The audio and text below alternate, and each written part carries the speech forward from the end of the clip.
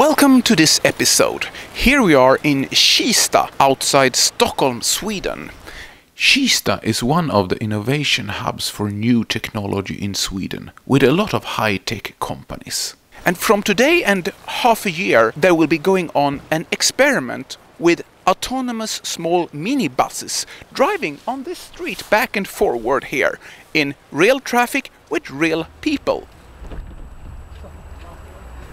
The project is called the Autopilot and it's a collaboration with a lot of different Swedish organizations, including Drive Sweden that is a strategic innovation program. The vehicle has a 12 kilowatt hour battery capable of running between 6 and 10 hours on one charge depending on the situation.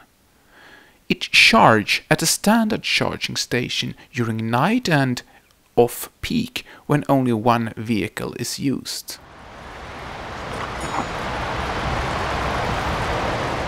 The vehicle is very sensitive to its surroundings and stops if someone comes in front of it. It's equipped with eight sensors.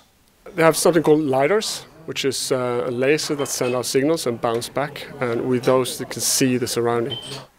This first day of the test, the vehicle drove very slowly, but later uh, the speed will be increased. But it felt that it was almost too sensitive. It didn't start from its bus stop just because a passenger was standing too close, and it drove extremely slow when a car was parked too close to its programmed path. We uh, have uh, the Royal Institute of Technology in this uh, program as well, and they will do uh, uh, re uh, research regarding how people interact with this vehicle, not just on board, not just cars and, and bikes, but also pedestrians around. So you don't stop it, you don't jump in front of it, you don't do that with a normal car. How do you handle this? The vehicle drive itself, but for now it has a host on board, taking care of passengers and for regulatory reasons.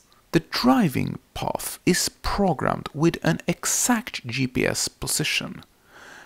And the only way for it to avoid temporary obstacles in the street is to stop.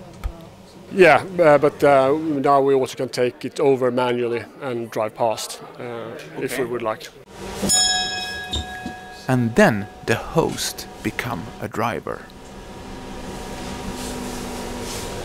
There is potential for improvements and the system will do more by itself later during this half a year test and it will run without supervision on board. The big challenge is how to integrate that into society, how uh, everyone else are accepting it and uh, follow rules. Uh, these buses will always follow rules. So if you drive in front of it, it will take that in, in calculation and let you pass. Uh, so if everyone follows the rules, then there are uh, no problems. But everyone is not following the rules. And how will the traffic situation be when a normal driver learn that this kind of vehicle always stop, even when it has priority? When drivers start to abuse the system forcing the automized vehicle to stop all the time, how attractive will it be for the passengers in the automized service? That problem can probably not be solved until all cars is automized and legislation forbids manual driving.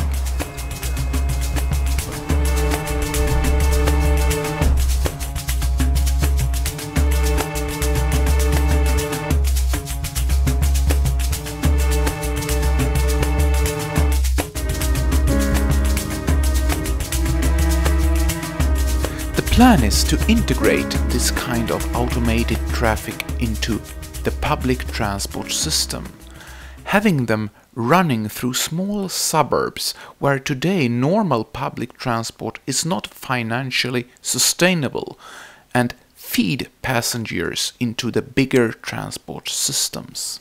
Urbanization in the world is very fast, and the competition over land between different points of interest gets stronger all the time. We need smarter solutions for our transport needs. When we use this kind of vehicles, not only automated self-driving, but they are also connected. You have real-time information data. Then we can start to use the land much smarter. We create an area where people would like to live, be, work in, so this is a very important milestone. The idea is to make the public transport so attractive so the personal cars will be unnecessary and so expensive so the choice of not having a car will be very attractive.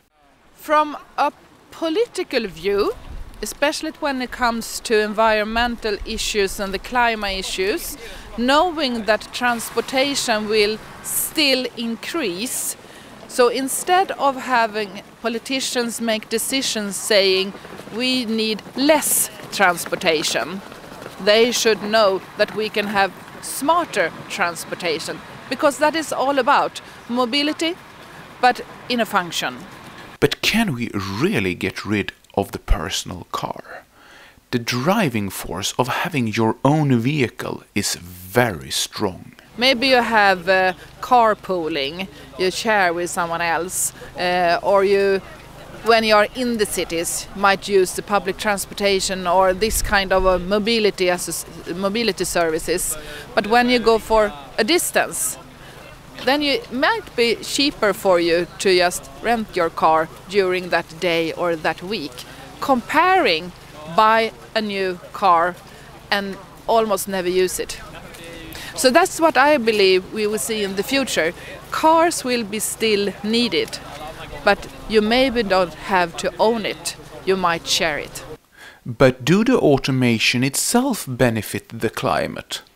When full automation is here, it will open up the possibility for a huge amount of more people to get individual transport when you don't need a driving license to go alone in a car. In the future we may even trust the system so much so our kids can go by themselves in them wherever they like. How many more vehicles on the streets will that generate?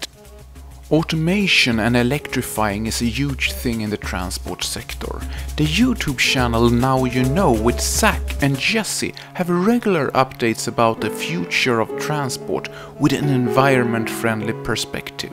Check them out, the link is in the description.